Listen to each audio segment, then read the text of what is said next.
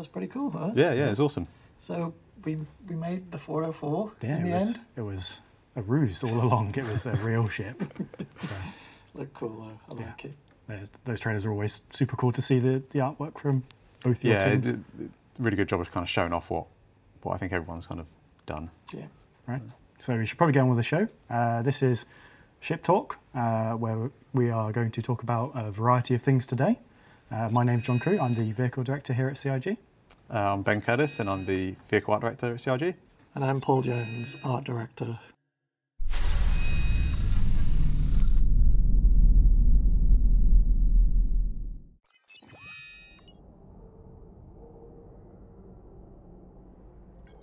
So the the 400i, it's a Constellation competitor, and we've got a few of these ships in this category across the board. We have the Constellation, we have the Corsair, and now we have the 400i. And the 400i has a few interesting features that makes it uh, a compelling choice over the others. So, being an Origin ship, it's obviously very visually sleek and fast, but also it can carry cargo and a, a vehicle at the same time. Size-wise, there's obviously a big gap in the range. Uh, we have the, the 100 series at the start, it jumps up to the 300 series. Then there's the big jump to the 600 series, and then another jump to the 890. So finding a space for this was, was fairly easy size-wise. I think it fills the gap quite nicely. So in terms of the process, um, uh, normally what happens is we, you know, we, we assign it to one concept artist, and we start the ball rolling. So it's really just a, a game of sort of exploration at this point. You know, it's fast and loose. You know, we always have a timeline uh, for each concept, and so it's uh, you know the pressure is always on. Basically, uh, it doesn't matter how many ships we've done. There's always that pressure to get it done and hit and hit the sort of key points. And so, at this point of exploration, it's really sort of uh, loosey goosey in terms of figuring out ideas, looking at shapes, looking at silhouettes, and sort of not locking yourself into uh, a line of thinking. It's basically, you know, we'll look at different ships. So we'll, some will be more influenced by the 600i, some more by the 100i, and then we'll sort of do a mix and match. And so, like I said, sometimes you don't quite hit it on that on that sort of you know I think like right at the beginning. Yeah, when, when you've got like a, a well-established manufacturer, it's, it's really beneficial because you, you kind of you, know, you have that to pull from, but you also want, don't want to get into the point where it's just a scaled down 600 or a scaled up. Do you know what I mean? You kind of like you don't want them all just to look like they're the same ship, just slightly different variants. Yeah. Uh, so I think the 400 is um, it certainly stands out within the lineup, but it's clearly an origin ship. And I think it's, I mean, because we we sort of follow the man, you know, sort of car manufacturers, don't we, in terms of uh, the brand. It's sort of expanding the brand. Sort of the brand also develops over time. So we have like a double, Yeah. you know, since the start of the project, Origin has sort of slightly changed its style a little bit. Um, and then, like say, yeah, you don't want to, you don't want just a mini six hundred. Yeah. Even though there's a part of me that would just be like, right, let's do a mini I do really like the 600. Yeah, yeah, the Scale 600. it down. Got it. And even that, even at this point, I kept sort of coming back to one original sketch that had been done for the, oh, what was it? I think it was One one the- hundred yeah. There was a little thumbnail. Um, you know, it's literally in my head. It's about that big, and the sketch is just teeny weeny. I was like, I kind of want a version like this. This looks kind of cool. And and so basically, in the end, I just went in and and kit bashed um, some ideas together. So this was, this was before my time on the ship team, so it's quite interesting Oh, to, really? to learn a bit more about the, the process. I, I went, Yeah. A lot of It's a great shift, my favourite one, Paul, in that case. a lot of the uh, the little concept thumbnails get.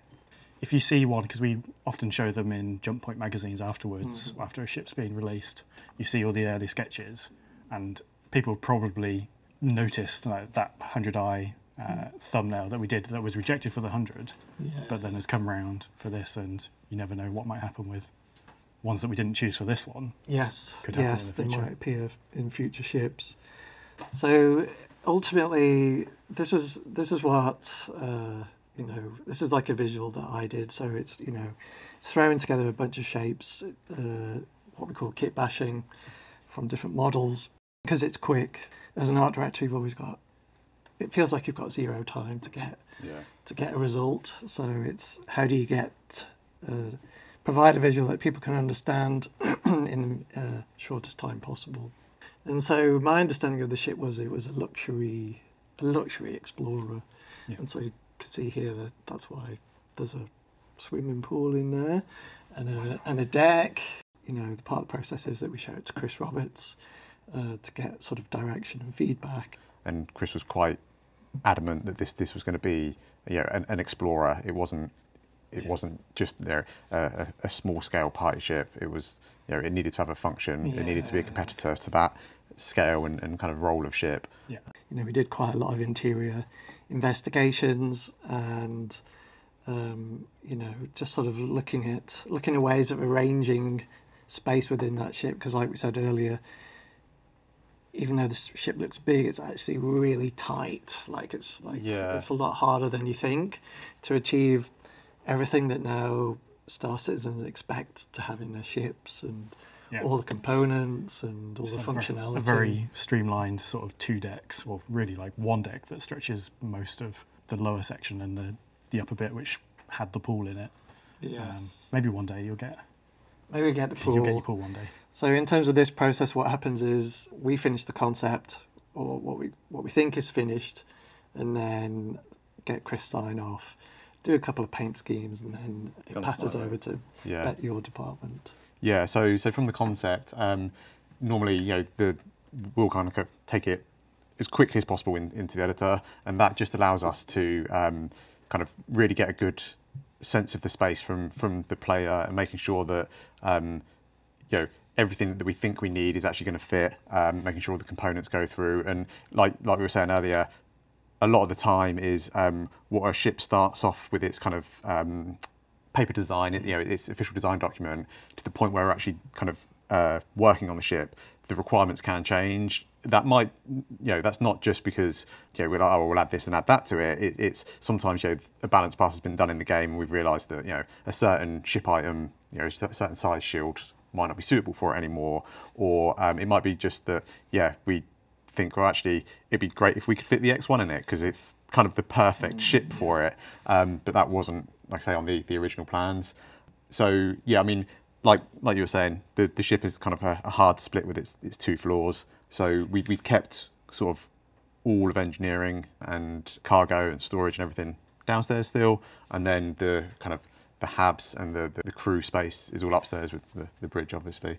Once we kind of get that white box in game, we then start just making sure that um, we can fit everything in we need. We also, that's at the point that we kind of really start internally showing that ship to everyone that, that Yeah. is invested in it, and, and you know, including Chris and um, you know, everyone that, that needs to kind of have a say. And one of the kind of things that Chris was really keen for, although he didn't want this ship to be a kind of luxury party ship, he did want it to feel origin. I think originally we had like the lift Yeah, there's, entrance. there was a smaller. trying not to do hand movements too much. Yes.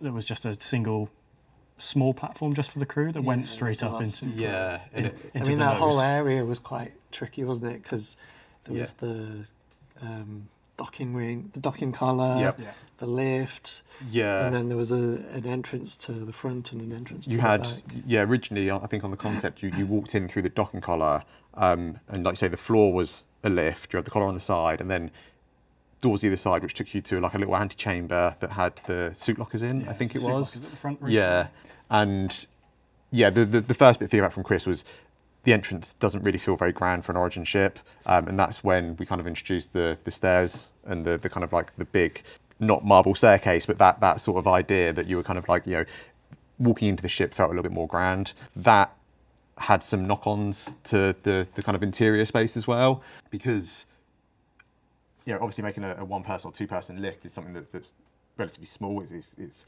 fits in a nice tight space. Um, but when you've got a set of stairs that need to fit or need to have a decent height change um, that requires a lot more space. So what we ended up doing was kind of opening up this first chamber you walk into and rather than being divided into separate rooms that kind of whole space kind of acts as the airlock and that's got everything that you need when you first enter the ship. Um, and i think it does like i say just that initial entrance feels quite nice now. Yeah, um, yeah, yeah. We don't have a lot of ships like that anymore that have the go up the front of it and Yeah. inside it. Like, Yeah, I mean, we've obviously we've, we've got another one that we'll show after this. Yeah. But yeah, mo- most of them, if they've got a ramp, it's, it's like cargo, isn't it? It's, it's Yeah. pure function Yeah. and, and not really. No, I think you guys done a great job on this because it was pretty. it was tricky. You Yeah. know, I remember it at the time, and you feel the time pressure. And then it was, it was when I was just starting on the team as well. So I was like coming in and be like, oh, Paul, what do we, what do we do? Like, where, where, where do we go? But it also, I mean, it's also nice because it sort of dovetails with that original sketch, which Mm. has there's an element there in that Oh, is there? Okay. Yeah, and I think at the time I sort of binned it off because I was just Yeah. like, I don't like. I'm sure I had some thoughts about it. I mean, everybody knows we've got a sort of 64 kilobit memory, so stuff kind of like gets lost Yeah. after a short amount of time. But um, I think we did discuss it, but then yeah, it was just like, no, let's just let's just go let's go simple. But Yeah. yeah, you guys did did good stuff. Yeah, and then, then the next thing to tackle, like Paul was saying, was um, the, the kind of like the addition of the bike garage. Um, it it was a bit of a headache trying to kind of fit that in. And the original plan that, that you know you can see is originally we were going to have it um, at the back of the ship next to the cargo or Right within the back of the cargo. yeah room. within the cargo room. Um, it it did fit, um, but it, it kind of brought up a few quirks with it. I think um, the you know, there, there was a few different quirks from different departments. So um, from a design point of view, I think we could only make it fit if you sent the bike up on its own, which was fine. But because the main entrance to the ship was at the, the front, it meant that Yeah. you'd get off. Yeah, to drive your bike onto this platform, get off your bike, send the bike up, run round to the front of the ship, run up the stairs, Yeah, and, and the and stairs just look at your bike. opening isn't exactly like a super quick thing. So if you, yeah, it just felt yeah. kind of like in terms of flow. Yeah, it's like, all right, I need to quickly quickly get off planet, and you're like, oh, click that, right, okay, yeah, send that up, oh, run, yep, okay, go. A minute later or two minutes later, you're in you're in the seat, ready to fly. Like I say, that was one of the, the issues we kind of hit, and then the other, I guess, um, issue was it just it started eating into the cargo space, so it meant that you couldn't once you had the cargo fully loaded, there was very little space for you to kind of traverse around the um, the cargo hold. Basically, you know, we, we had a number of kind of ideas we played with, and then uh, if you click on, yeah, we ended up um, basically putting it at the opposite end of the ship. Now the nose, should we call it the nose? Yeah, it the nose. the nose now opens up, and it's got like a nice little kind of dedicated X1 garage in there. It's a nice use of that kind of spine that was there originally. was, there was nothing really. The, the gravity drive was there, Yeah. but we kind of nudged that back a bit. Um, and I guess the mounts for the guns, but they they kind of are still tucked out to the side a little bit. So Yeah. yeah, There's um, a better use of space because it was sort yeah, like you say, it had the gravity generator there and it- it had the suit lockers, but it was weird that you had to go through the airlock to get your suit and Yeah. then back out. Um, so yeah, taking up that space was was much nicer. Um, and the other really good thing is all the controls for getting a new ship and doing this. They're all On- right right next to you. So you go Yep. open this, open this, Yeah. you put your bike Yeah. away, yeah. and go up. And I think that's one of the kind of like um, the, the like say the nice things of it is, is you know you can I guess ride up to your ship and it, it's just there. You send it up straight up and and yeah, there's no messing around. Um, so yeah, that was one of the other challenges. And then to be honest, most of the the rest of the ship kind of went pretty much to, to plan in terms of you know what was on concept. I don't think there was any kind of real surprises. So you know now as, as you enter the ship and you come into the kind of like the main body, you're into engineering. This ship does have large shields. Yes. Yeah. Yeah. So that was that was another thing to make it different. Um, obviously, we've made changes whilst during development to other ships, and shields have changed. So it's not quite as unique as it was, um, but it's still very well shielded for its size.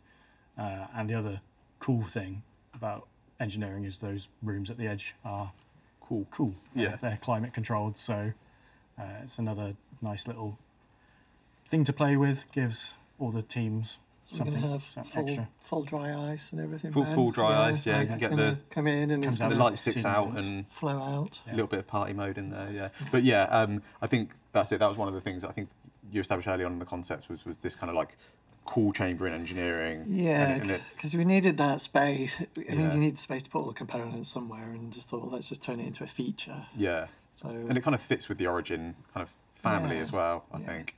Um, yeah, that's Yeah. good. That's good. Um, and then yeah, kind of from engineering, you kind of go straight to the back, and that's where you've got your, your storage.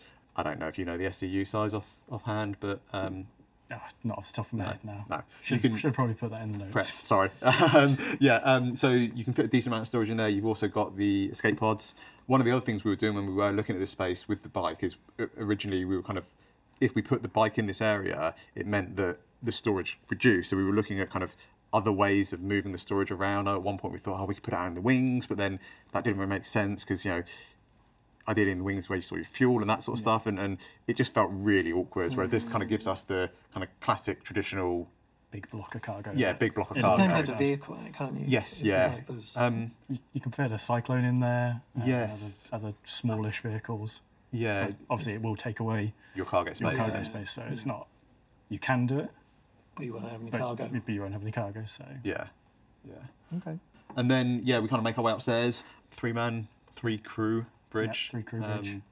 and yeah, it's, it's you know it's very to me anyway. The bridge is, is very origin. It feels um, you know very very sleek. Um, get a real nice view of the, the, the kind of front of the ship out in front of you, um, and uh, yeah, it's, it's it's a nice place and it's got the classic kind of origin uh, kind of hardened and you know, we haven't got any low tech screens. It's all kind of projected and Yeah.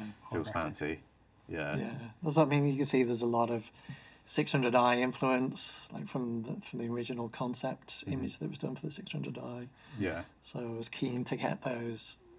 That sort of it's almost like a like the black louvers, Yeah. and then get everything sort of. To be honest, they, were one of the things that we, we kind of kept referencing back during the production was like, let's just go back and have a look at the 600 because that's one of the, again, one of those kind of shapes that really sells Origin to me. Mm-hmm, And yeah, so I think it was good kind of keeping them. And that yeah, it was also uh, what's the origin buggy called? G12. Thank you. Yeah. So again, we've got the louvers. in Yeah. that. Yeah. The 890 as well is like all the the bigger Origin ships have this sort of arrangement of a single center seat and two crew ones, whether they're at the front or at the back. They're- They're all sort of that style, Mm-hmm, so it all plays together. And then Habs wise, you kind of got the captain suite and you've Yeah. got the, the crew suite. And you know, within those, they've got their own kind of lockers. They've got their own kind of personal ship storage.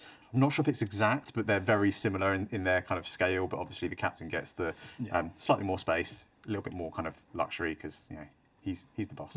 Yeah. So It was a, at one point it was a, a four person ship, and then we reduced it down to three, so we've got that extra space for the. see, I'm learning loads of stuff. I didn't know about today. lots, yeah. lots of things changed during Yeah. the concept. Like changing it from four to three might sound like a quick thing on paper, but then it's like you're losing a seat out the bridge somewhere. Uh, yeah, it you would have lose been lockers. You tough lose to fit an extra pods. seat in that bridge though, because it would have Yeah. you would have had to have kind of had them two banks. So it would have been a bit Yeah. Yeah. yeah. just just purely visual sort of it it feels a little bit nicer weighted if it's if I mean, the whole ship has a essentially a triangle. triangle. looks Yeah. fast Yeah. yeah Looks fast. yeah and then yeah as you kind of progress through to the rear of the ship um, this is where like I say originally it was it was Party time. yeah it was the party room yeah we've, we've kept some of the elements I guess yeah there, there's still a kitchen a, a decent Yeah, it's sized still, a, kitchen it's still a nice space, isn't it? Do you know what I mean? It's like luxury. It's still Yeah. that sort of luxury yacht you've got your wine fridge kind of so feel, isn't Yeah. it? Yeah. So, Yeah, you've got every, everything you need back there. You've got your food making facilities. You've got your breakout area, and then your Yeah. big holo table at the back. Yeah, and, and that was sort of like the, um, I guess like the operations area, and we kind of we, we tried to make that space feel like um, it was a little bit more focused with the, the holo table than the sort of you know the, the breakfast bar that, that's just in front of it, and um, I think having because we tried quite a few different ideas there as well. Actually, I remember at one point we had like a war table with with seating and stuff, but that was Yeah. a bit tight for kind of maneuverability, and also I think um, it we ended up going with like the standing kind of holo table rather than a seating one because when you first kind of like look at it, it felt like an extension of the um, relaxation area rather than like a kind of planning, you know, what, what we're going to do in our operation type area. And then, yeah, basically that, that kind of covers most of the 400, I guess, as a, a whole.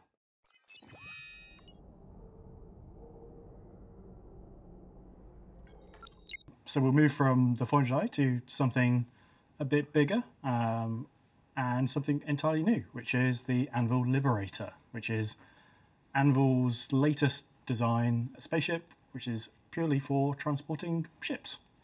So we wanted to do something properly uh, and sort of provide that entry level spaceship for that career. If you want to be a, a ship hauler, then this is the ship for you. It provides that good foundational base for it. It's a fairly regular sort of process on this one.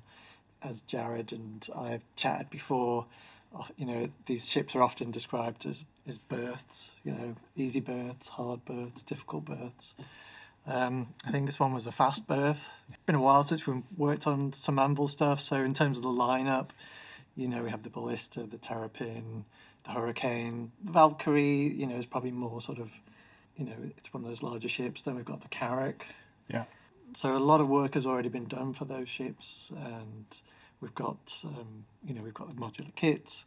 So in terms of the concept process, uh, theoretically, it's it's smoother sailing.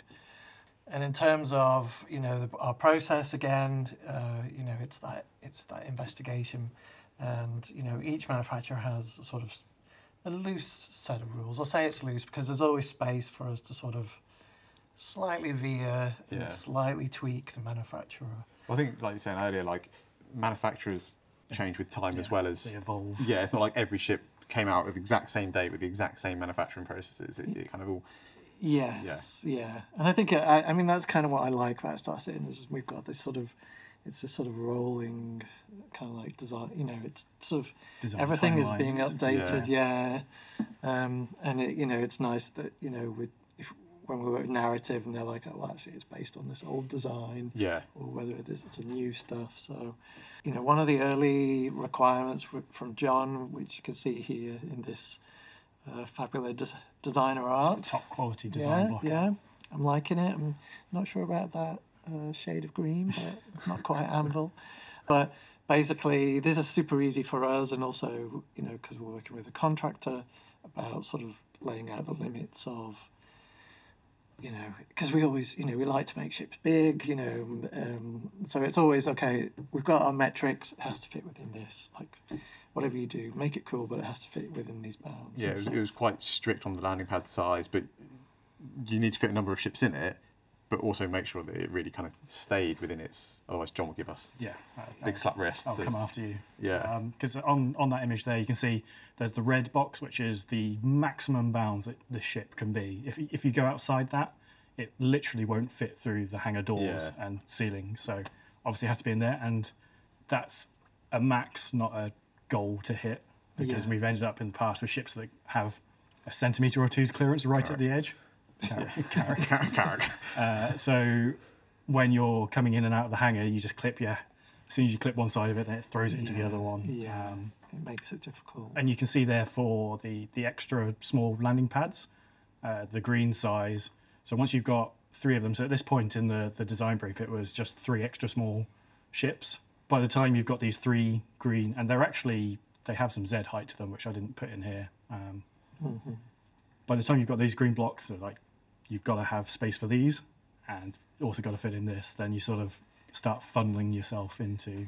Yeah, and I think. I mean you you know you provided uh, a reference image right at the start, which is of military hovercraft. Yeah, the, the American. Uh, I can't remember if it's the Navy or the Army. Yeah, and so that was like, uh, I, I mean, people will see straight away the the correlation between the two and the sort of influence, but it you know it also makes sense, right? It's, It's a very the functionality I'd say it's a very functional ship, isn't it? So and, and it feels like, like say, obviously, the, the real life version has been made for that function, and this this kind of follows suit. Yeah, definitely. And so, you know, we'll basically be looking at some of our exterior options. And again, it's always, you know, it's quite difficult when you have something like that, that reference image Yeah. of the military hovercraft because instantly it sits in your mind Yeah, and you sort of get, um, you kind of get sort of stuck in that thinking. And so, you know, part of my job is also to sort of push, push the concept artists and say, right, okay, well, what about this? What about that? I think you know, it's always a you know, it's it's always a sort of uh, dual role. You know, we sort of you know you work together and kind of uh, two minds is always better than one, right? So in in this case, we're sort of looking at you know this is a sort of first first stab at it. So there's a lot of similarity with the Valkyrie. So there's the Valkyrie engines. You know, it's it's pretty standard. It's just one one floor plate and it's symmetrical. Then we look at some cleaner stuff. It's not, you know, it, it's a nice design, but uh, doesn't really speak of um, Anvil to me.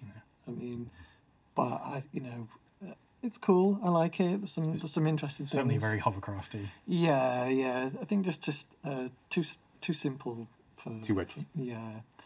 This one was asymmetrical version. You know, got that massive tank on the side. What it does, I'm not quite sure at this point, but it's you know it's just visual exploration. We've got the asymmetrical wings. Again, in, you know, sort of interesting stuff. At this point, we're starting to push um, into like terrapin territory. So we've got the sort of uh, essentially like the, the bridge, and it's kind of like got a, a cowl. It's like a sort of you know, it's kind of like the little turtle head Mm. from the terrapin, and sort of mixing and matching. And so, you know, it's kind of interesting. Again, you know, th- we're doing these things rapidly, so you know, Has has some pros and cons design design wise well because obviously we have the XY metric, but you also have the Z. So a lot of our hangar metrics are quite tall. Um, So the the problem with this one was it was just to the height of the ship. Like the Yeah. actual the actual height it would have needed to be would have been double that. So then you end up with this really tall gangly Ye- thing because we've also shortened it by a third. So I like you trying to get yourself into like the shape of a ship. Yeah, Really good. tall. Yeah. And then here is like um, where we sort of start hitting upon something that um, I don't know where the decision was made, but you know it made sense to have the garages yeah, on that lower deck. Mm. Here, you know, you've got two tanks lying side by side, which you know is cool. It looks good, but it isn't actually like an official feature. Yeah. It- was around this point where we, we were looking at the, the double layer thing uh, and trying to get these two layers to work or two floors to work with the three larger ships. So we changed it from the three extra small pads to two extra small pads, which basically take any single seat fighter in the game and some around. So I think a prospector also fits on there. Yeah. And then we scaled the, the front one down to an extra extra small. So that's Mhm. things like the, the Argo MPUV, uh, Origin 85X, uh, and smaller flying ships like that. But also, interestingly, that extra extra small metric is sort of the same as the medium vehicle metric. There's there's like a meter difference in Yeah. height, which is the Ballista and Nova. So we went from these three extra smalls uh, to two extra smalls on top, one extra extra small at the front, and then these two garage slots, which can also, if you're willing to try and fly your small ship in there. You Yeah, you were Yeah. playing around. You could fit quite a few combinations of I ships mean, I in there. couldn't had a shot. Yeah. I treated it like I was a fan, and basically just and basically filled that whole carriage. There was no uh, sort of like door opening space at all. It was. Yeah, yeah. yeah, It was uh, cyclones and We know what the rock players are like. Yeah, I mean, it looked good. I mean, it looked like um, you know, it looked like a ferry. You know, when they're just full of the vehicles all just stacked up. Um, Just increases like the risk value of flying it, doesn't it? Like if you've, you know, you've Yeah. got three ships on it, all right. Yeah, Got fifteen. and need a big insurance Yeah. um, payout. So uh, you know, once we have the you know an exterior that we were happy with, then it's you know then we move on to the interior, and you know it's only two crew. Yep. So it's it's two crew. Uh, you have obviously the, the person flying the thing, uh, and then the the second person who can either it, sort of a flexible role. There there is a turret that they can control. They can go sit in it and uh, shoot anything that comes at you, but it's not really a ship that's a combat ship. It's it's a transporter ship. If you want protection, you need to bring protection with you, or rely on the ships that you're carrying to provide that protection, which is Mm. another benefit of this open topped yeah, ship is yeah, you can just you come under launch, attack, yeah. everyone can launch out straight away. You're not having to fly your ships out one by one out of a tube. They they can get off pretty quickly. We haven't done launch tubes yet, have we? One day. One day, One one day. day we do launch tubes. Yeah. maybe yeah.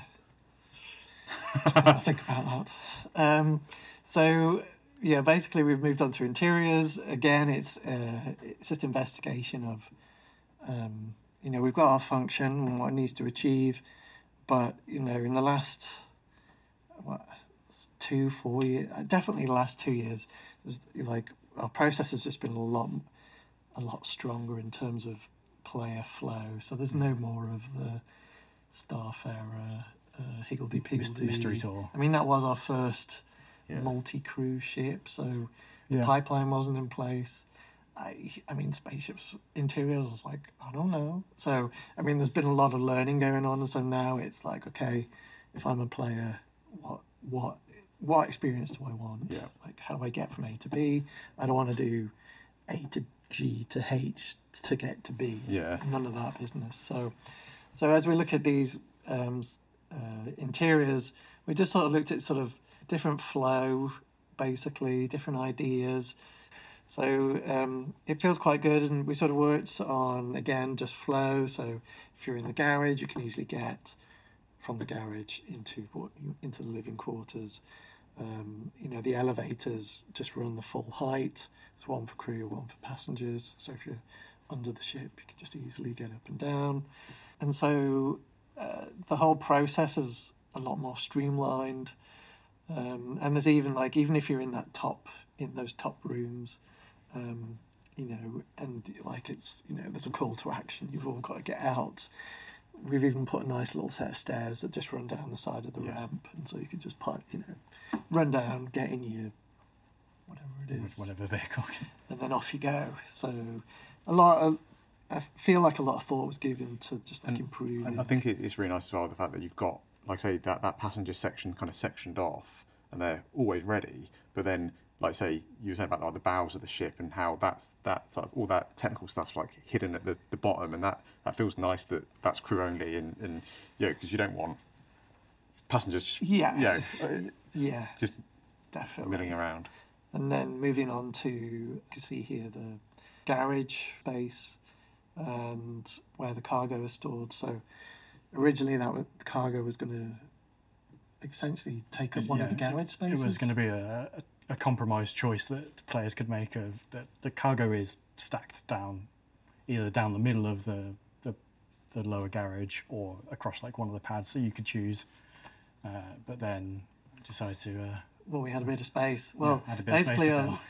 the concept guy when I went rogue, I was like, "Oh, what about this? This is cool." And we were like, were like, Yeah, yeah, it does look cool. Yeah, yeah, it was like we're like, John, can we have this? coming to a meeting. Oh, I've just done, gone away and done this uh, this this thing that we're not going to talk about, but it's, it's turned Yeah. into the cargo storage room. So it's, yes, yeah. it's a, a good sort of save of Well, we want. I mean, you know, for me as an art director, I want, you know, I want my team to feel like they can take those little forays off if they want, if they've got a good idea. Um, and you know, luckily this time it's Yeah. it's panned out yeah, and makes good use of the space. I mean, because like I said, the ship is it is quite big. So then we get to the fun part, which is when we get onto promo. Uh, I think it's everyone's favourite part involved with this sort of stuff, and that is really sort of I call it selling the dream. So it's um, you know you're really sort of honing in into what a player's experience might be. Um, and I, I love doing this sort of stuff as well. So um, so here we've got you know a fully loaded carrier and the uh, core of what that ship is for. Like you have these these smaller carri- carrier-borne ships, is what Chris likes to call them. Like they're they're not deep space fighters. They can't go long distances by themselves. They they need to be from a, a parent ship. So the the Liberator is unless you suddenly got an Idris to carry things To with. This is you, this yeah, is yeah. this is what you're going to see going through these wide and long star systems. Like Pyro is incredibly large compared to Stanton, and Stanton's already quite big to go from one side to the other. So we really need these ships to help you lug all your stuff from Mm. point A to point B. Yeah. Because if you do it in your in your Hornet, that's going to be I don't know, 50, 100 little stops. Whereas you cram it in one of these and send it on its way, it's going to be a much better experience for everyone. Yeah, yeah, absolutely. No, I'm, I'm, I think this is going to be a, like I say, a fun one to kind of get onto. Yeah, yeah, I think your team's going to like that. That's pretty much it for the Anvil Liberator. Um, ship transporter at its core, two man crew, designed for, for hauling three spaceships and some ground vehicles uh, long distance. Uh, Hmm. Very cool.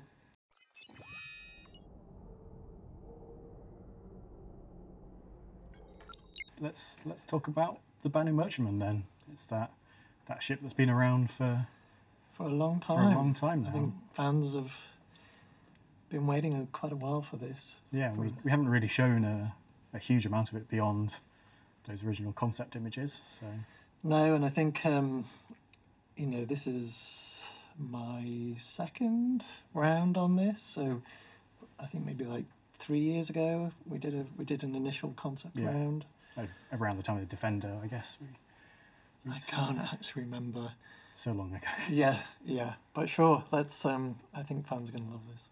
So there's a few things that need to be updated for the Merchantman. Uh, obviously, we've talked about this many times in the past. Uh, as Star Citizen develops, things get added, uh, things get refined. We, we improve our, our workflow.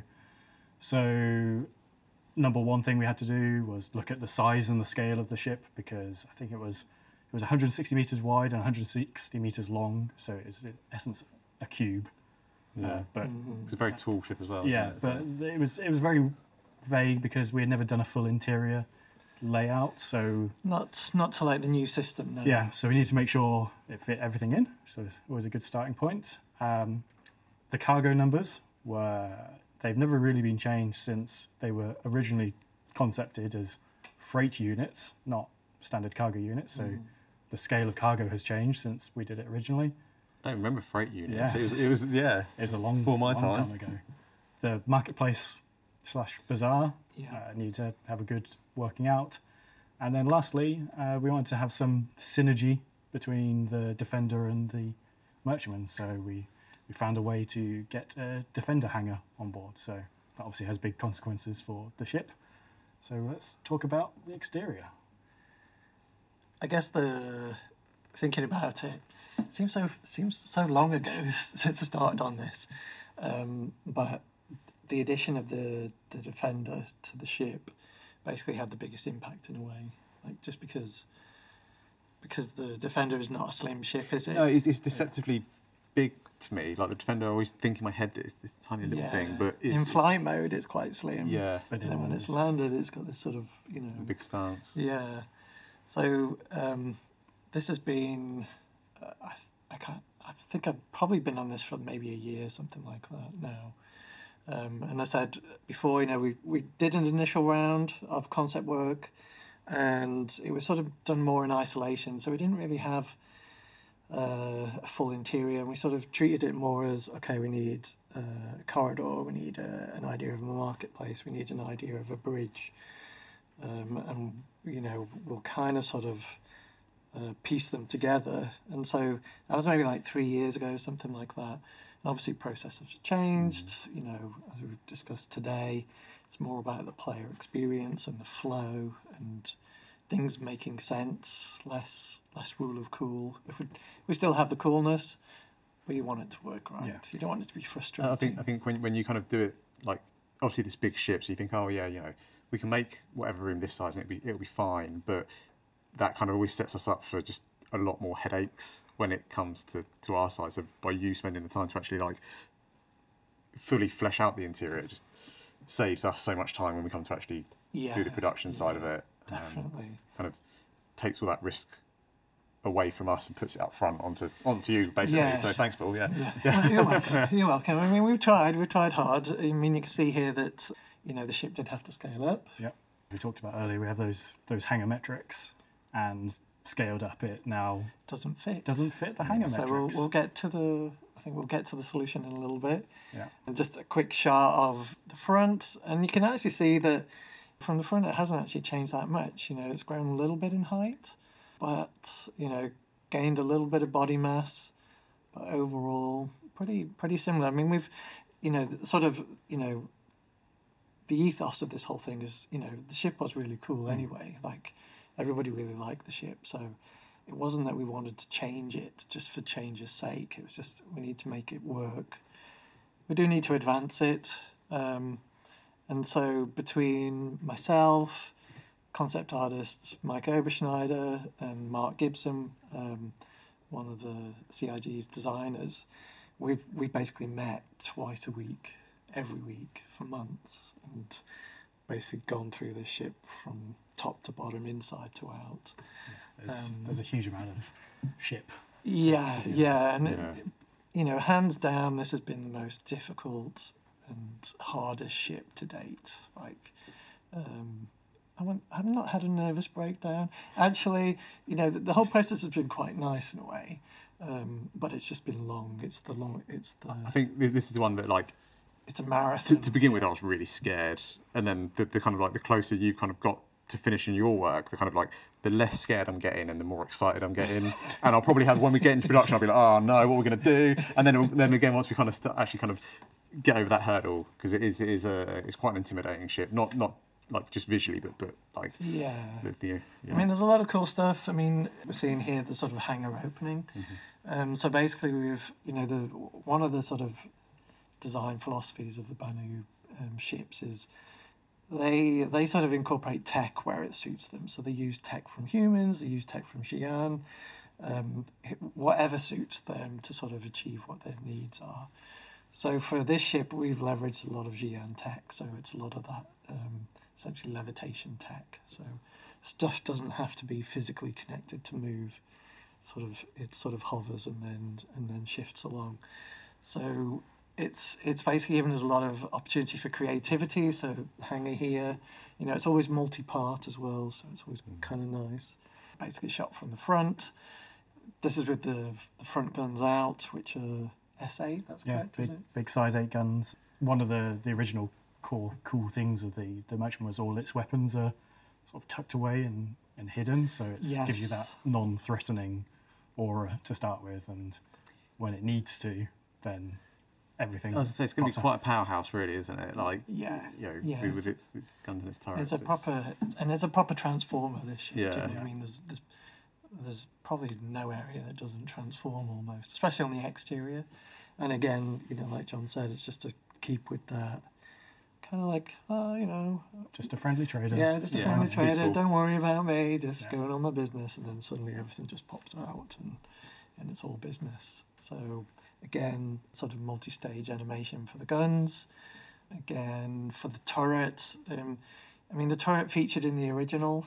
Um, you know, there was a hidden. It was never really fully explained. No, was- no. There was a, a turret, a man turret there that you could get in and defend with, and it was in that top fin, I guess. you call it. Yeah, and when when you know when the weaponry is unmanned, it's a lot easier. We can get away with a lot smaller spaces. Once you put a person in it, then it's a whole different ball of wax. and Yeah. just the player experience, and it's it's a you know twin twin gun. Twin, yeah, twin Yeah. S5, so it's not giving you a little tickle. It's uh, Yeah, quite a big punch. yeah, And even though it's only a, a you know, a, a turret, a gunner, you, you still got to kind of take all the consideration you're taking in a like a pilot seat in terms of their visibility and, and everything else. And, and yeah, yeah, well. and, and yes, you know, you, you expect to see the big guns and the silhouette and get that kind of like the real feel of, of being in a gunner seat, but it, like I say, it's, it's quite easy for it to just kind of grow in complexity quite quickly. Yes. Um, So I mean, basically, we've you know we've used the Xi'an tech again to help us sort of reveal the turret, also to elevate the turret. Um, still, you know, we've, we've had we've got multiple ideas for that, so I think we'll just have to figure that out a little further on. And then these, I mean, these these guns look tiny in Yeah, comparison, don't they're, they? they're- they're still like sighted. pea So these these are guns that most fighters have equipped to them, but they're on these um, point defense turrets. So obviously, the ship was big to start with. It's bigger now. It's more of a target for missiles and torpedoes. And one of the best ways we have in game to counter those is these automated point defense turrets. So Again, well, humans have these phalanx style guns that shoot down incoming threats. We'll we'll take that and we'll use our own guns. Uh, so there's, it's got four of these on the hull. So there's two on top near the bridge, and then I think we see uh, the other two uh, underneath. Uh, so you've sort of got your your 360 degrees protection from from missiles from those, and then there's a, an additional pair of size four remote turrets under the wings. Uh, these are controlled from the bridge. Uh, the bridge crew mentioned them, so yeah, it's, it's not lacking on Not like an The, the on thing is, it, it can carry a fair amount of cargo, and, and you know, it's got its own trading floor. And, you know, it's your Yeah. livelihood. yeah, Yeah. you kind of need to make sure that I mean, you can basically, that. yeah. There's a it's it's a bit of a TARDIS. It's a bit of a Mm, you know. yeah. There's a as people will see, there's a whole bunch of extra stuff that we've squeezed into this compared to the first one. So there's always been this feature on the on the Banu. It was there on the original, but it never really had a function. You know, some people called it the paddle, some people called it the flipper, but Chris was like, okay, it needs it needs a reason to be Yeah. there. It, it is very dominant Yeah, in this development, yeah. isn't it? So, I, I, I'll always remember that one bit of Defender concept art where it's just there, just destroying a mountain. it flies over, just dragging it through. So we've, um, you know, it's it's a multifunction essentially because um, one of the difficulties was uh, at the top of that flipper fuel scoop, sorry, um, is basically the entrance to the marketplace for traders and the public. So it was, you know, there's that challenge of what it needs to look. Uh, you know, it needs to do its job, but it also needs to look visually appealing because it's going to be the entrance. Um, so there was, and we'll see that in a little in a second. Um, but it was, yeah, it was always it was always a bit of a tricky thing to solve. And so, you know, again, we're seeing here the, as John mentioned earlier, the ship got wider and didn't Yeah. actually fit on a landing pad. which, which meant we had no hangars that it would officially fit in. We Yeah. could only ever officially land at docking stations with docking Yeah. ports or on a planet's surface, which is, you're, as a trader, you're missing out on all the places you could land to, to do trading. So we had to find a, Solution. a solution. I mean, the funny thing is, this is this is the mo- this is the simplest of the of the um, of the solutions that we came up with. I mean, there's probably like ten others that we did. Some of them were super crazy, you know, part you know parts just folding back on each other and all sorts of things. So, but in the end, I think I mean simplicity wins out. I mean, it's it's it, They're not small bits of wing to move. either. yeah yeah, it's kind of I mean, there's deceptive, it? gaps here, and we you know we haven't got the mesh in there, Yeah. but there will be. We'll we'll work it out for you, Ben. Yeah. So you can see here, this is basically a shot of what is the fuel scoop, but it transforms again and becomes this pathway to the marketplace. So you'll have this basically why this experience again. It's kind of the red carpet treatment. You're walking up into the marketplace. It's not in this image, but you know we will have, or hopefully, um, we'll have like softs, like awnings, basically that will sort of come out as well, and so we'll have that sort of It- marketplace. it- I think for me, this, this is one of the ships that really excites me because um, it is very different to, you know, Yeah. not all the, a lot of the ships that we've kind of we've done, um, and I think that sort of like initial experience, like you say, of seeing this thing kind of like come and land down, and and the traders kind of inviting you in and, and entering into, you know, it's it's very otherworldly, yeah, kind of entering up that walking Yeah. up those steps out of you know one of our kind of space station like you know our human space stations Oh, absolutely. i think it's going to be kind of really exciting to kind of I mean, the idea is that as you go up those stairs, you'll have you know holographic visuals of products that are in the marketplace, Yeah. and so they will sort of pop up and just be spinning. So you'll have like, it's again, it's just that sort of shopping experience. Mm. It's like, oh, okay, I can get that and get that,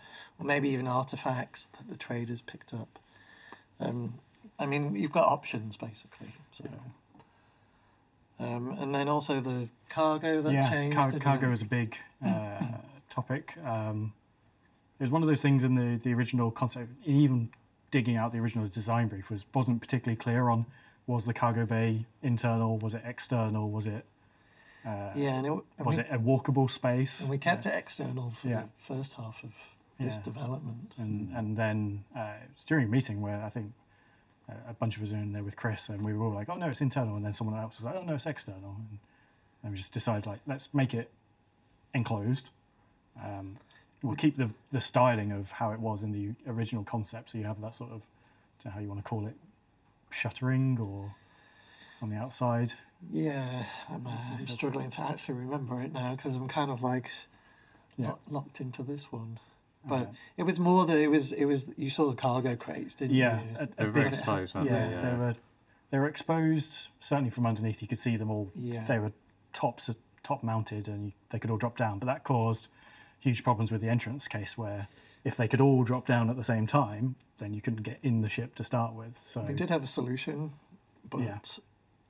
This is definitely better. yeah, so now it's now it's enclosed. You just have one way of dropping at the front, and then we'll see later how it's all managed inside. So you just have you can have the front ramp open and cargo coming up and down. The two Mhm. the two systems are not interfering with each other. Mhm.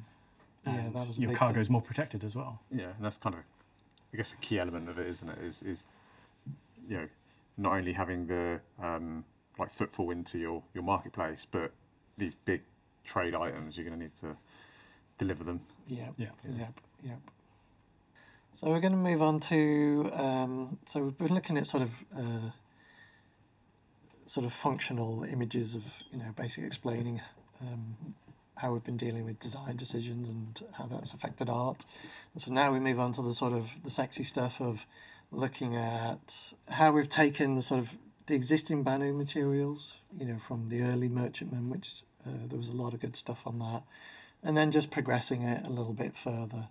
And you know, again, this is still probably you know, this is subject to change still. You know, it's it's previs, but in terms of where it's heading, you know, it's really quite exciting. And so, um, you know, not everything is modelled in this. So you know, the, there probably will be more folds in the metal, kind of like there is on the Defender. where, Yeah. You know, Yeah, if you look at the concept images versus where it all ends up pivoting on those those arms, Yeah. there's a lot more detail. There's a lot more, yeah. There's a lot more sort of intricate sort of folding of the metal, and so we're just kind of like working in.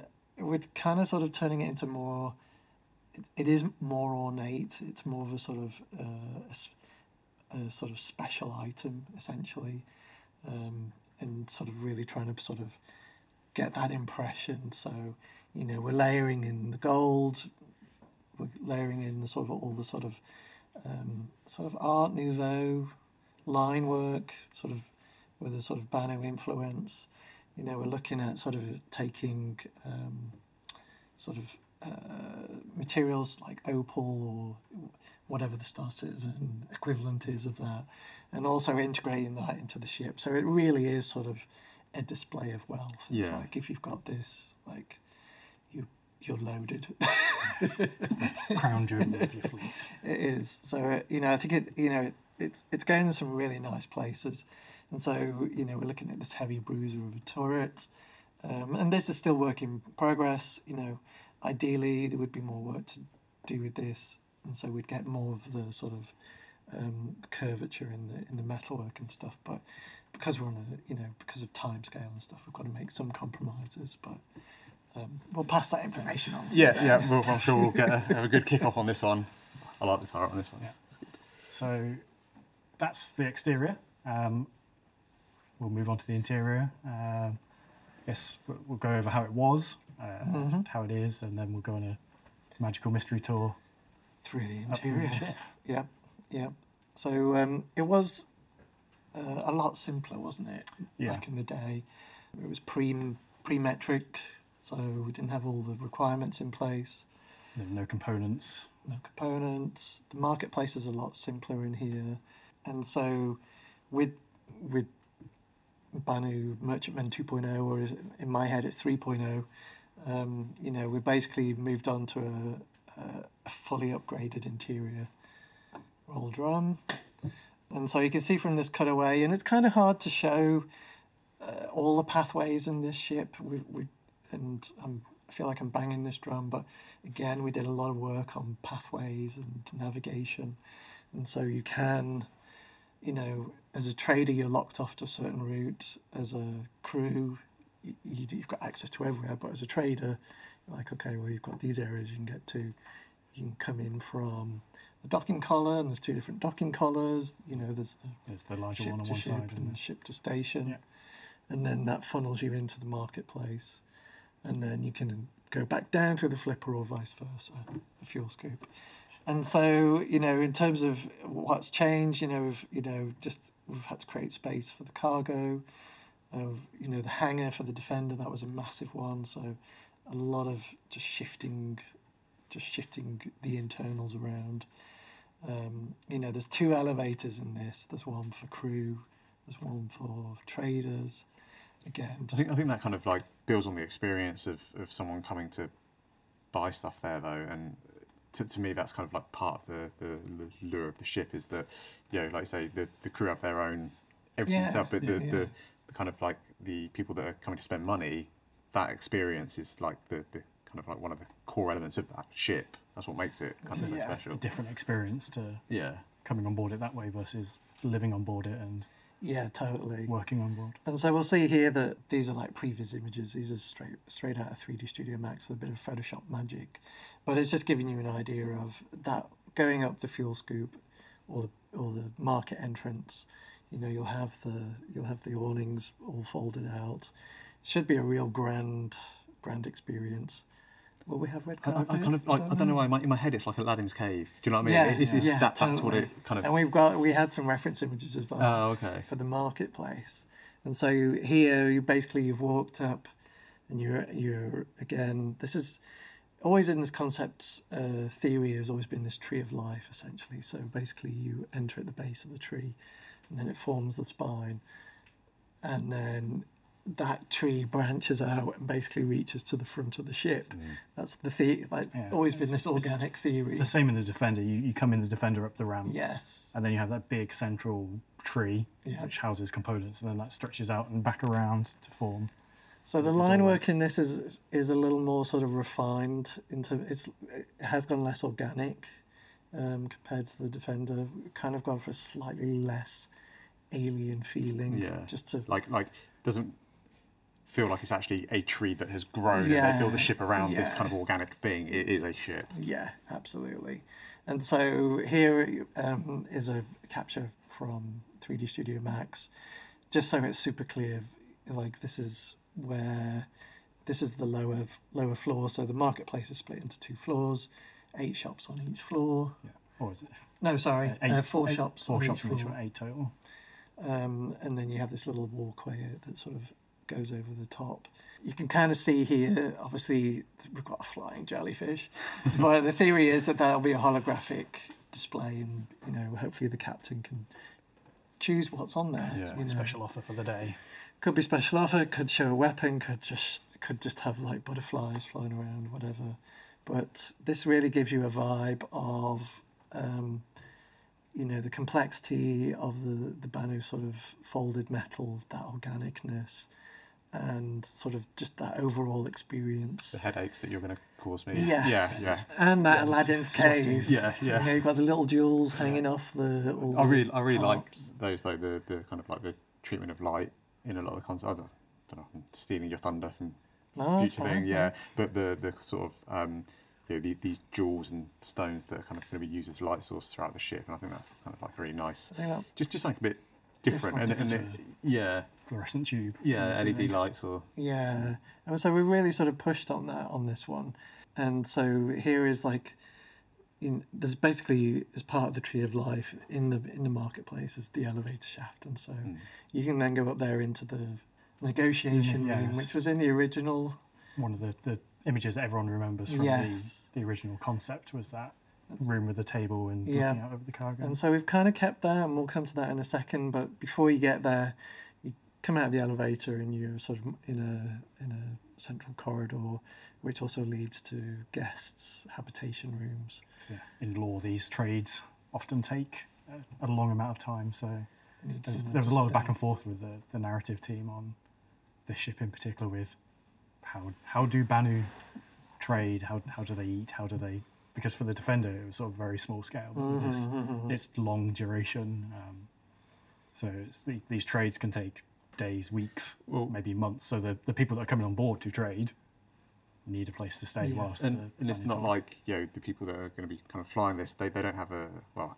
In my head, they don't have like a base of operations. Like this is their, Their this home. is their home. Yeah. So you know, like you say, if, if you're trading your, I guess some of these things could be their livelihood. They're, they're you know, they're trying to trading these really expensive high end items, and that's kind of And you want them to feel special. Like, Yeah. you know, the, the thing about this always has been that, you know, making making the people feel, you know, that they're in something quite unique.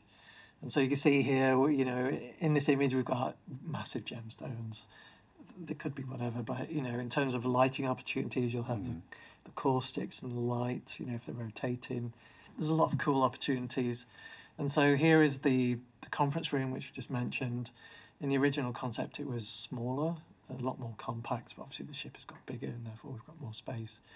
But also, it's it's a display of wealth, right? If you can afford to waste a bit of space, essentially, you know, if you could be like, you know, I don't need to pack it with everything, you know, I just got to make this nice uh, player experience where everyone feels sort of relaxed. And so that's kind of what we've been pushing with. So there's a lot of there's a lot of commonality that we've taken from the original and fed into this, but then also pushing pushing further. So again, you can see the sort of like carved gemstones inlaid inlaid with more gemstones, inlaid with gold, and so again, you know, in terms of player experience, it's going to be totally different to anything that's happened. And we've still kept that viewpoint looking into the into the hangar. So The cargo bay. sorry, into the cargo bay. And so yeah, it's it's been quite a tussle trying to trying to get everything into place. And then this is an example of um, one of the one of the hubs for like if you if you want if you're doing long term trading. And this is uh, really sort of based on again keeping with the organic theme, the, the Banu shapes, but pushing in a slightly different palette and materials. And so it's kind of based off of the interior of a Nautilus shell. Um, and so you can't really tell from here, but actually it circles back on itself. So there's a, a little internal wall there that you go behind, and that's where um, toilet and shower and all that sort of stuff is. And then you've got the bed in the back, and then you've got lockers and little seating area. So you kind of like a real sort of organic journey. So again, just pushing on. Um, leveraging that Xi'an tech as well, so the chairs and the desk and even the lights are, are just sort of held Yeah. held in space. So um, quite different, quite different. And so that's that's where the traders go, but Yeah. the crew obviously has got access to the full ship. And so Slightly less grandiose, but not.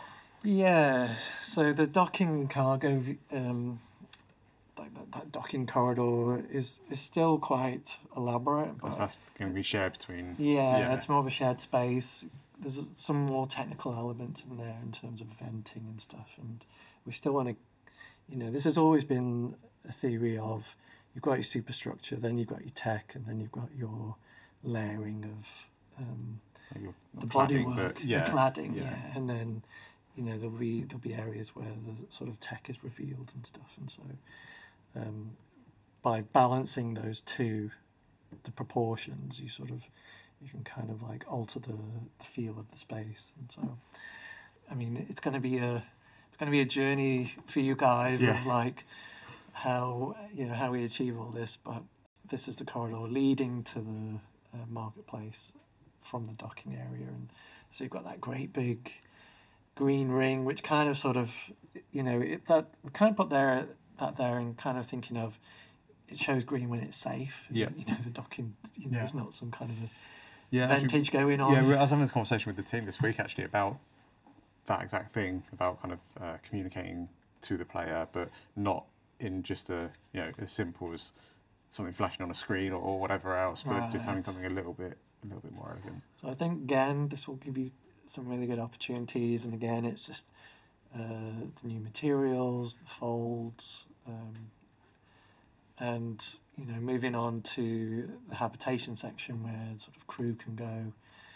You know, people people who are familiar with the Defender will really sort of see the sort of common common thread here. So you know the amount of gold and shiny stuff, to put it bluntly, is reduced and so it goes to more matte materials. You know, it's a little less display of wealth. It's a little more functional, but still got that three D printed. You get a lot kind of that sort of like layering in here as well, aren't you? Yeah, yeah. and That in the middle is the what do we call it? The magic tagine. Yeah, Ultimately, so it's fed from underneath, and you you know you choose what you want, and then it appears, and the top comes off, and you get your food out. Yeah. and you get your cutlery.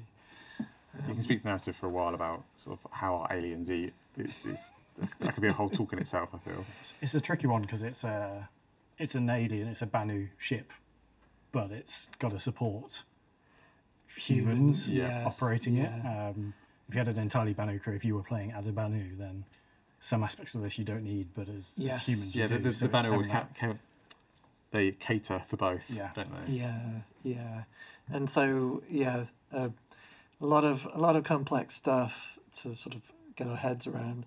Engineering. This is a work in progress shot, It's one of my favourite bits. Though. Yeah. I really like this. and you can't really tell from this shot, but it's essentially set over three levels. You've got that main middle level, and you can sort of get on mini lifts to drop down to components or walk up the stairs to some elevated stuff. But essentially, this is leading to the main central engine, and that is like sort of counter rotating all those elements, and so you get this awesome um, shadow play basically going on in the room, like really sort of cinematic. looks extremely cool in, in motion. Just and if we can tie it to either da- was it were you talking about whether tying it to damage or the state of the It sounds The like a good idea, so I'm going to say yes. so you Yeah. know if the engine's malfunctioning and it's sort of slowing Yeah. down and stuff that'd be kind of cool. I'll, I'll take. I'll claim that one. Ah, okay, yeah. Yeah, I'm not sure it was. But. And then, you know, in, in terms of the cargo space, what we're looking at here is like the 32 SCU sort of cargo these, boxes. these are the, the big cargo containers that you see in all the, the rest stops and the cargo decks. These are those, like the modern day big Shipping cargo containers. shipping containers. Yeah. They're, they're, they're quite hefty, and you can't, you certainly can't pick them up by yourself, and you can't really do it with handheld tractor beams. You need something big. Yes, and so we've got we've got a hefty um, a moving mechanism in there at the moment, which you can control from this position that you can see in this in the screenshot. Um, and so that'll be something else to work out, Ben. Um, but Something else to work out, John. but you know, it will be a really cool area, and sort of just below you, that's basically where the sort of the loading platform is. Yeah, because it, it moves the, the cargo containers into that space, and then that and then space drops it kind of drops down, doesn't it? Yeah. So there will be that sort of like, oh, I need the bottom one on the third stack. Yes, All right, okay, yeah. let's let's shift everything out and There is Yeah. that sort of mini game of Jenga almost with Mm. how stuff is going to how you're going to access stuff, Yeah. and all the time you'll be able to see from the negotiation room. the, the poor the- guy moving it around, Yeah. to don't mess it up. Um, but yeah, as, as a result of all those changes, the, the cargo capacity has gone down a little. I think it was it was a nebulous number to start with that had Mm. never really been proved Still out. pretty it's still big. big. So Yeah. it's, it's around two thousand eight hundred, uh, which is not a small amount of cargo by any means. Yeah. Um, so it's still well above most ships, but until you get to the Hull series, you I was going to say what Yeah. I can't remember what our Hull the, series. the hull is over three thousand. So it's well, but It's- still, yeah. it's a lot, um, but maybe not quite as much as people were hoping for originally. although I think It looks maybe pretty though. It does. the loss yeah. of cargo, but you're gaining so much more. yeah, Yeah. It's, So it's always a give and take with these things. Of we we could make every ship do everything, but then they just become Yeah. these humongous vessels. Um, Yeah. So it's a it's always a trade. So moving now up to the bridge area, and what we're looking at here is very much work in progress. I mean, we are literally working on this right now.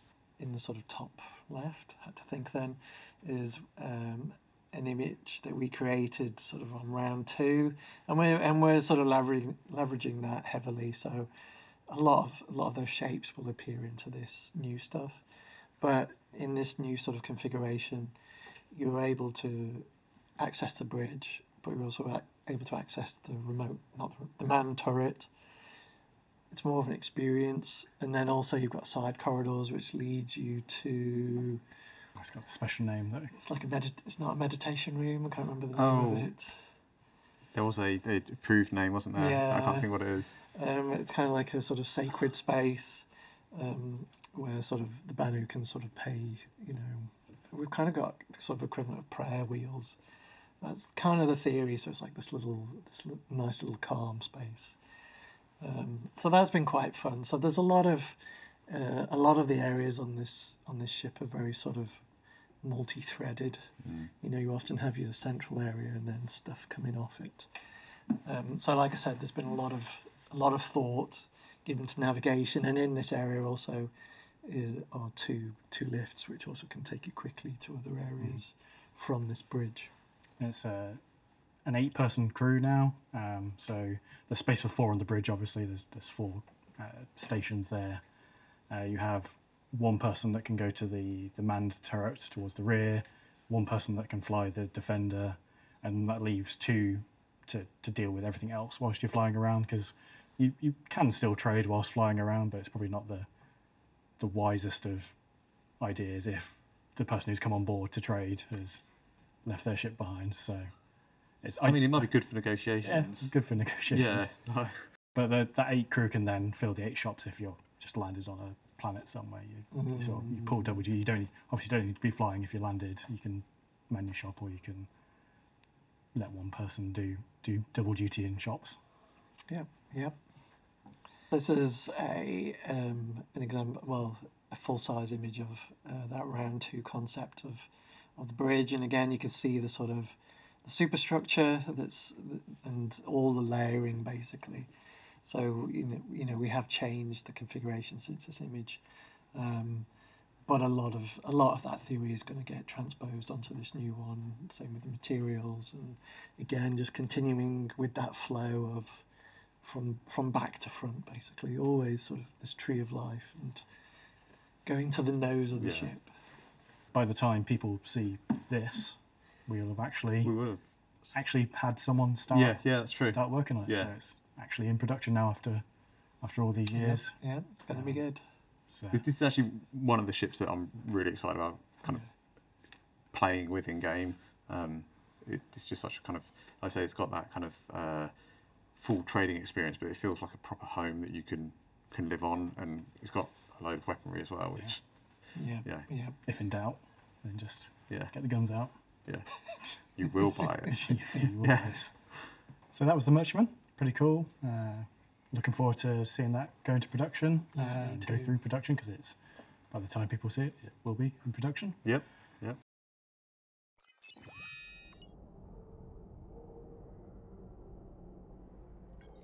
So to close our, our talk out, uh, I thought we would revisit the, the idea that we had last time we, we did one of these panels. We showed some concept ships or some ideas for concept ships, talked about it, and everyone voted for them. Obviously, as this is pre-recorded segment, we can't interact with the crowd and uh, get a feel of that. So Fight amongst ourselves. arm wrestle for which one we do.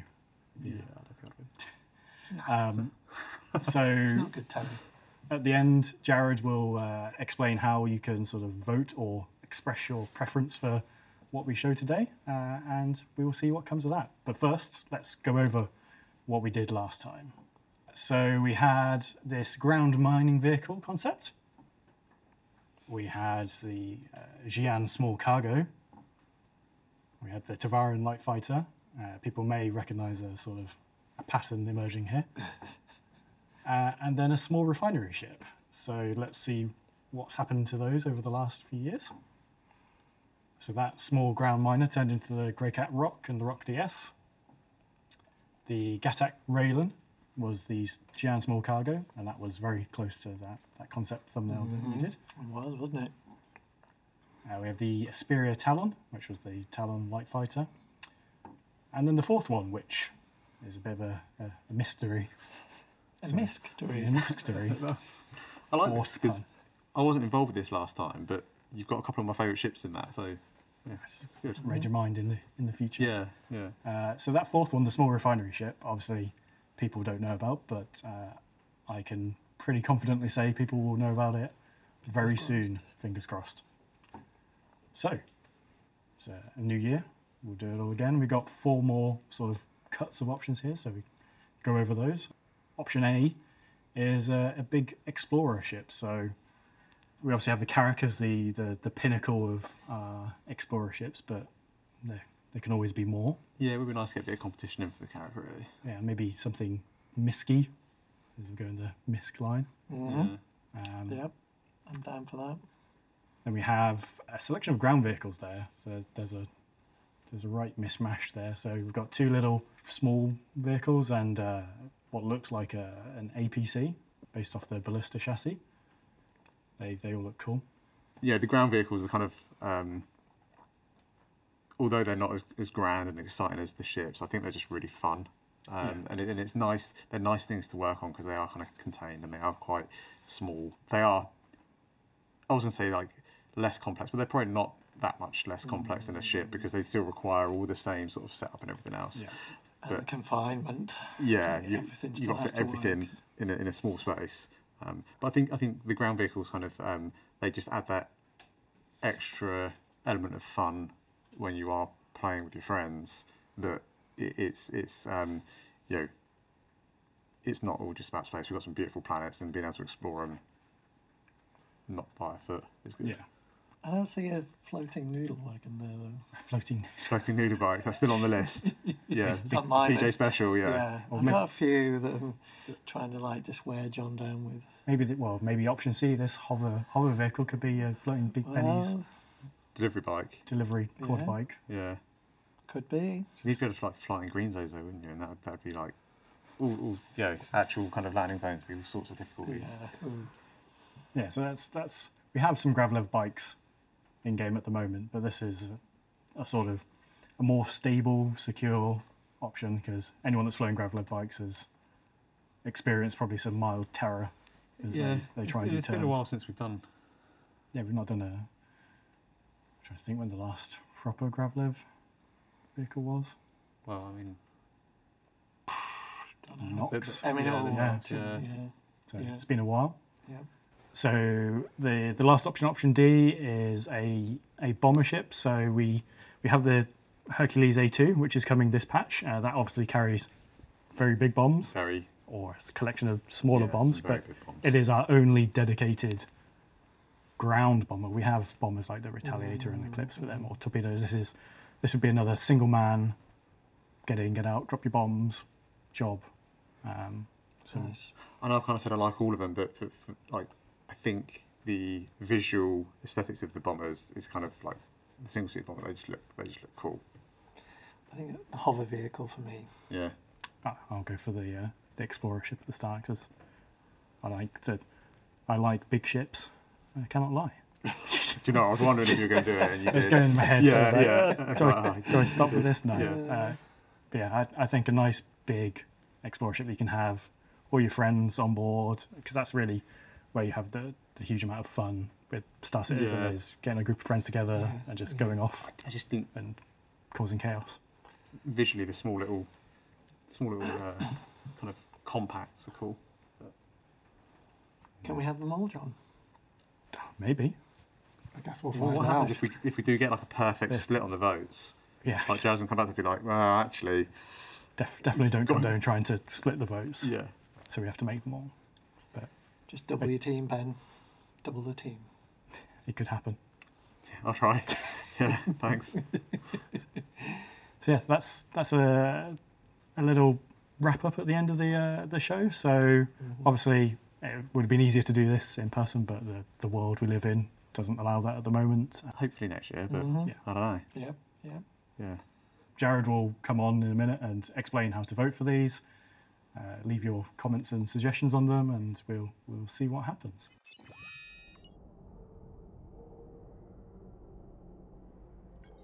That's a wrap for us. I'm John, if you don't realise. I'm the vehicle director. I'm Ben. Uh, first CitizenCon done. Woo. Yeah. Yeah. Welcome to the club. Yeah. And I'm Paul Jones, art director. And thanks for watching our, our Ship Talk panel.